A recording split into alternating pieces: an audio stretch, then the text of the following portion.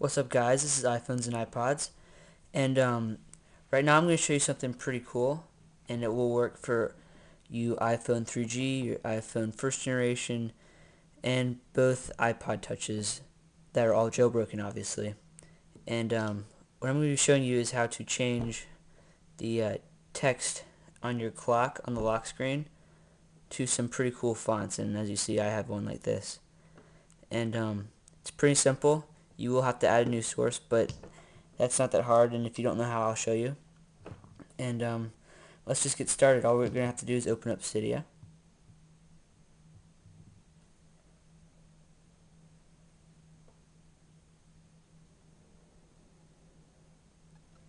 And let that load. And while it's loading guys I want to tell you about a really awesome YouTuber by the name of Your iPod Stop.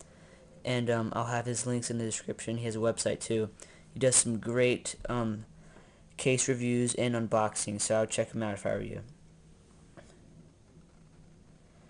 So just let it load, it's still loading at the top.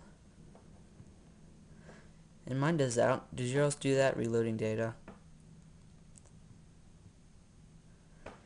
Alright, well, just keep on letting that load. Okay, once it's done, we're going to first off add a new source and this source is going to allow you to get some more fonts for your uh, lock screen.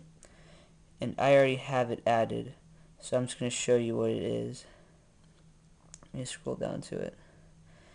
And it's called applenews.fr and what you're going to type in is you're first going to go to edit add and I already have this in so and I'll have it in the link in the description. But what you're going to type in is HTTP, all that stuff. It'll have it on there already for you. Apple slash, like little slash thingy, news dot fr slash repo. And once that's installed, it's going to allow you to um, get some more fonts for this package. But in order to get the package, what we have to do is we have to go into search and type in font swap. All one word.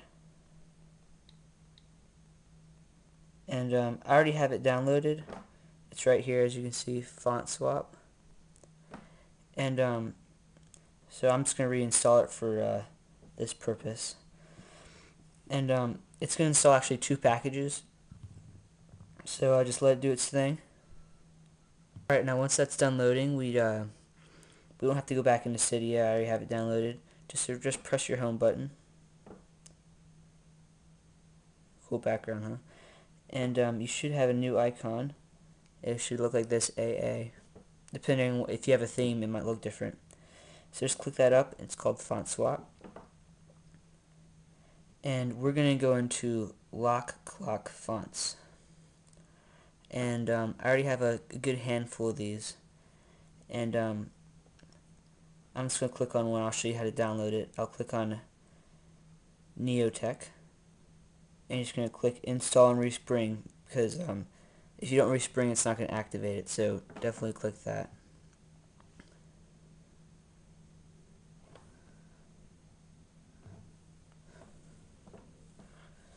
Oh yeah and stay tuned at the end of the video. I'm going to show you how to get some more of these fonts like I do with that source that we downloaded in the beginning.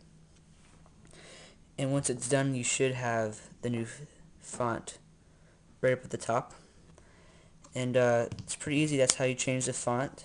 And um, this application font swap it actually changes it can change your whole system font too but I think it's just really cool how it changes the clock font right there.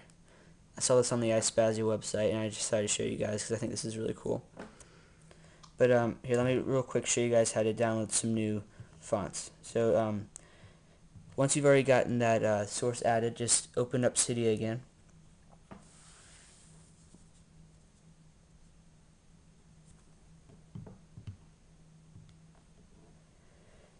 and um, we're going to go into sections. And there should be a new section called font swap. So click on that.